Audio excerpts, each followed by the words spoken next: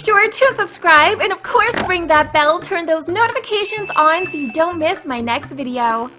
Hey crew crew, it's Kristen and welcome back to my channel. I hope you guys are having an awesome day and I hope you guys are ready for another super duper easy tutorial here on my channel. So a lot of you guys have really been asking how to make these bookshelf units for your home. So we're gonna do two super easy tutorials for today. So we are gonna do this closet shelf kind of combination unit. And I do wanna mention quickly that I do get asked most often where I am able to find the sign that you can change the text to anything you want. You guys are actually gonna find that in the edit house. And if you go over to stuff and you scroll all the way over to cute, you are gonna see there's actually a wooden one, a regular one, and a handwritten glowing one. So those are what you're gonna wanna use and you can change the color and the word to anything that you want. So we are gonna do the closet with bookshelf and also just the really cute bookshelf because I don't always love using the brown ones that we have in game. And it's just a little bit more fun to actually customize what is on your personal shelving in your home. So of course, make sure to let me know in the comments if there are any more custom tutorials of certain kind of themes or different pieces of furniture that you guys would like to see me do, of course, make sure to let me know down in the comments. So with all of that said and out of the way, you guys, let's just go ahead and start the tutorial. Okay, so for the first piece of furniture, what we are gonna do is pull in one of the barriers that you guys can find over in the party section. So for this one, I am going to make all of the shelving units white, but as you guys can see, you definitely can customize it to any color that will actually match your wallpaper or your home um, style. So then we're gonna go ahead and drag out two of the clothing racks. Now you are gonna wanna make sure to place these first because we are going to place the bricks underneath to kind of hide the wheels. And if you place the clothing racks after the bricks, they're just gonna sit on top and it's not gonna work. So for this one, I did use two. Now keep in mind, you guys, you can make this however big or small that you want. Now what you're gonna wanna do is just pull in those bricks all along the bottom, just kind of the same width of the actual pieces of clothing as well. And of course, we are going to place the bricks on both sides just to kind of close it in and give it more of like a closet and shelving unit. Next, what you're gonna wanna do is put that barrier up against the wall and then you're gonna wanna raise it like on top of the brick so that it's perfectly even so that you can make that shelf to close in the bottom closet part. So this is definitely one of those pieces of furniture you guys have seen over and over again in my homes and builds and this is probably one of the most requested tutorials that I have. So next what we're want to do is make the shelving unit on top of the closet. So what you're want to do is just evenly place the bricks so that they just kind of match within the barrier on the back. And of course, you're gonna wanna have them the same width as the bricks on the bottom. So it's just gonna look like one piece of solid furniture. So you're gonna wanna place this along the sides. Now you either can put this all the way to the ceiling and if it doesn't reach, like if the barrier doesn't go to the ceiling in your home, you can just kind of use bricks to fill in the gap. But for this one, I did like it just to actually look like a separate unit. You guys will see in the second tutorial how to put it like just all the way to the ceiling.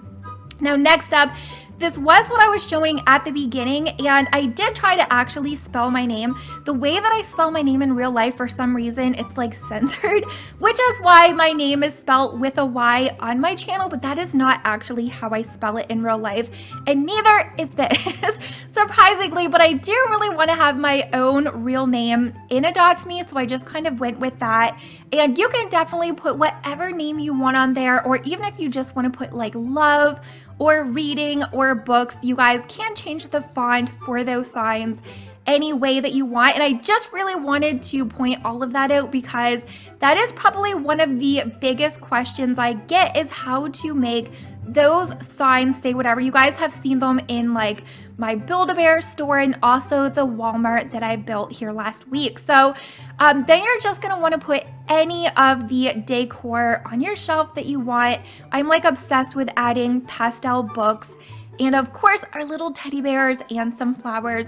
Really hope we get some more like teddy bears of the pets we have here in Adopt Me um, as the lamp. So moving over into this super duper easy second tutorial. This is just for a regular bookshelf. So as you guys know, we kind of right now only have those brown wooden shelves.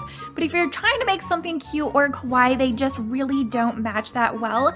So this is for your own customized shelf unit. So I am again making this one white, but as you guys know, you can easily customize it to any color that you want to suit your home style. So what you're gonna wanna do for this one, I made it two bricks long. So you're gonna wanna place one flat on the floor and then place them all the way up the wall to the ceiling and then just pull the barrier up again so you actually can like make the edge because you definitely can place the bricks flat but it just kind of makes the bookshelf a little bit too wide on the edges for the style um, of the bookshelf that I want. So for the sides, what I ended up doing was just kind of pushing those bricks halfway so that it's not like super duper sticking out and it just kind of makes it the perfect width of a shelf to add your books on. You guys are gonna see I use tons and tons of books on this one. So again, you're just gonna wanna go ahead and add any decor you want, even if you don't wanna put bricks.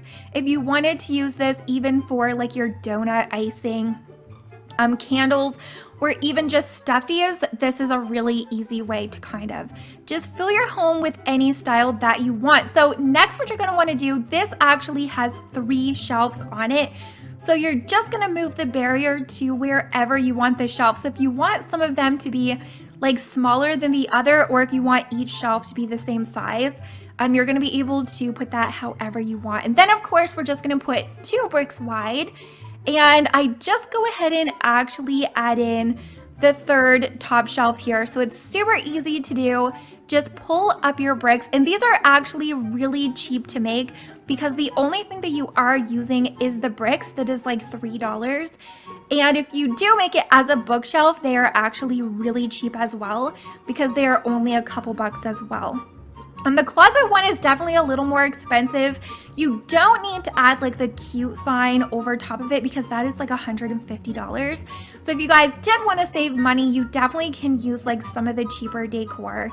And again, this bookshelf, you can make it as big or as tiny as you want. Like this one was two bricks tall, but if you just want like a super skinny shelf like the one we have in game, you only need to make it like one shelf. Or if you wanted to make it bigger, you definitely can. so you guys can see one of my favorite color combinations to use is the pastel shades of like yellow, pink, purple, green, and blue. Um, it's just my go-to. I think it just looks so pretty with um, a lot of the style and decor that I use.